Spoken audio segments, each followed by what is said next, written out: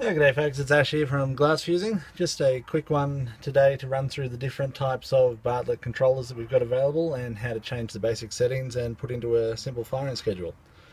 First question a lot of people have is when they get it, it's uh, set to uh, Fahrenheit and they'd like it to be on Celsius. So there are two different ways depending on the model, even though they'll both say Model 3K. Try one way, if it doesn't work, give it a shot the other way.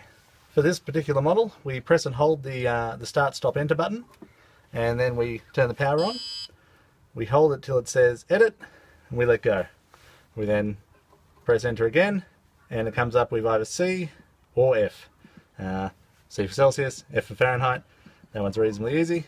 Once you've made your choice and you're happy with it, press the enter button. That's your theoretical maximum. It'll go to a stop, back to idle, and displaying the current temperature.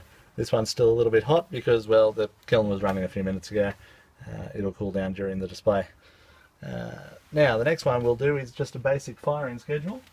If I can find... Alrighty, so because we just had the, uh, we've got this controller down where we don't usually have it, we just had a thermocouple fail, thanks to this wire moving about a lot. So we'll start running through the, uh, the firing guide again. Again, this is going to be a, uh, a six segment firing taken directly off the Spectrum website.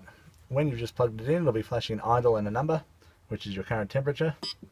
We want to press enter. We're going to program up user one, and it's got six segments. So we move that up to number six, and enter. Ramp one is the, uh, the speed you're going to be ramping at for your first segment. We want this to be 139 degrees Celsius. So we hold down this button, until we go way past 139. Back a couple of times, then it's all good. Press enter again. This is your target temperature. For this one, it's going to be 566 degrees Celsius. Uh, again, we press and hold, it starts to jump, and it'll jump up in 10s and 20s. Uh, eventually, you hold on long enough and it starts jumping up in hundreds. So that's 566 degrees. Press enter on that and we want to have a hold time of 30 minutes.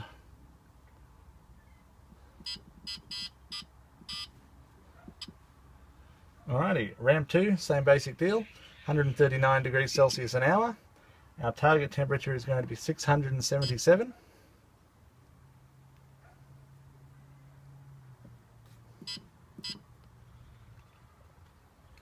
Now this firing guide is taken directly from the System 96 website. Uh, it's a basic little guide, but it'll work very well for most situations. In hold 2, we want it to hold for 20 minutes.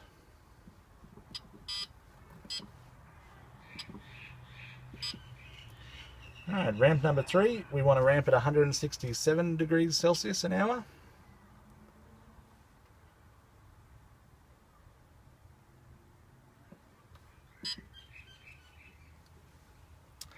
After it starts running in tens, you just want to give it a moment before you start pushing down again.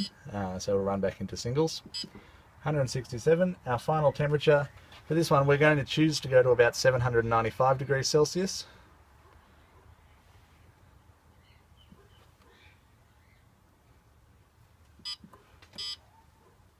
And if I was paying more attention, I would have seen that number come up. 795 degrees Celsius, we're going to hold for 15 minutes.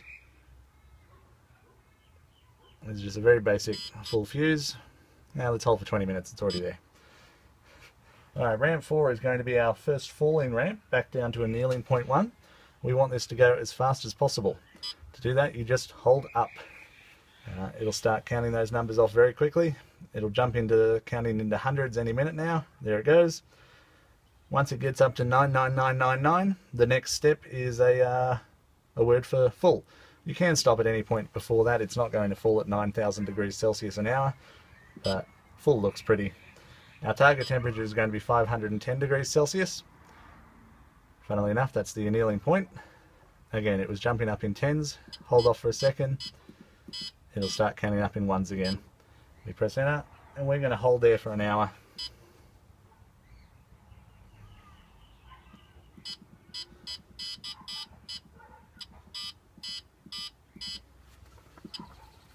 And our next drop is going to be at 111 degrees Celsius an hour. because we feel like being very specific. I assume that's a round number in Fahrenheit.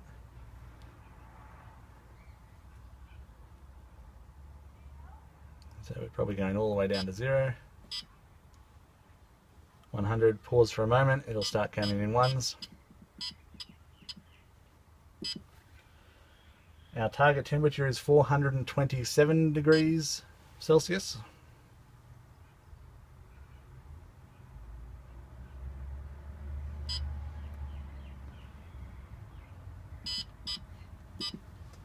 And we're going to hold there just for 10 minutes.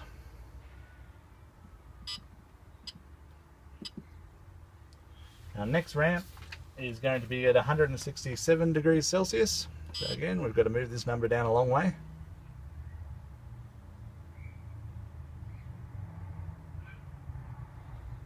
Once it starts counting in hundreds, it's pretty easy.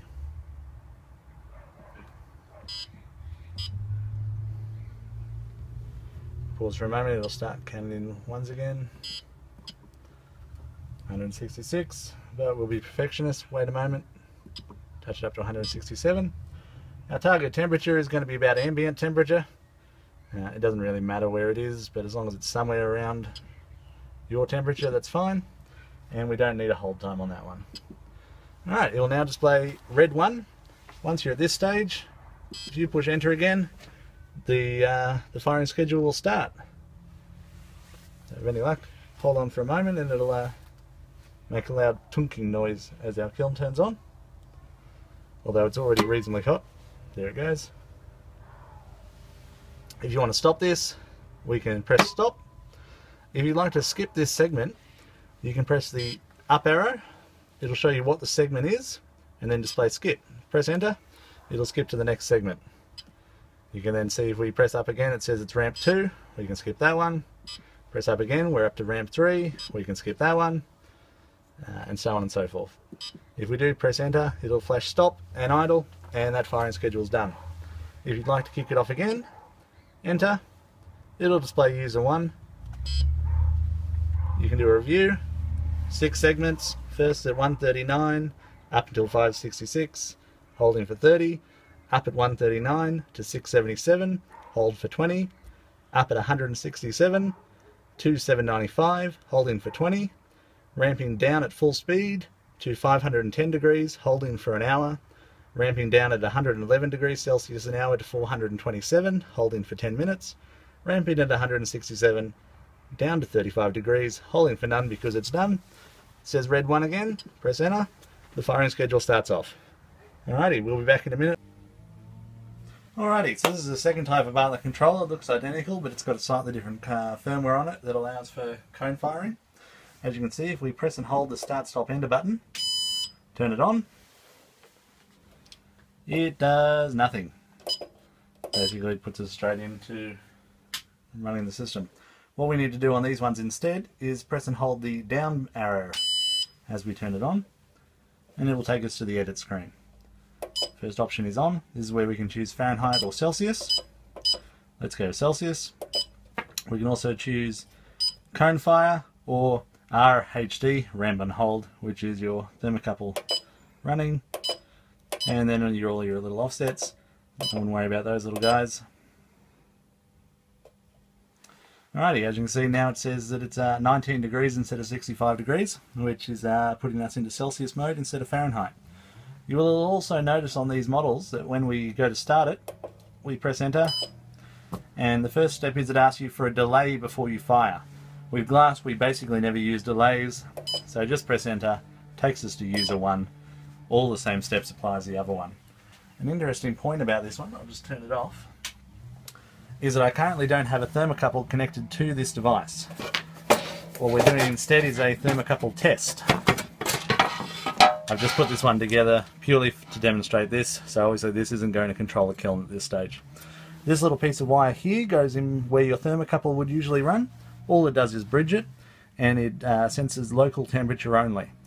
If you're ever getting thermocouple fails or if the temperature it's displaying you don't think is quite right, an easy way to test to see whether it's your thermocouple or the actual controller board itself, just pop the wire in and it should give you your current temperature. Or if you want the world's most expensive weather station telling you the current temperature, this would be it. Alrighty. Uh, if you've got any other questions, please feel free to get in contact with us at uh, info at glassfusing.com.au and we'll endeavour to answer any of the questions you've got.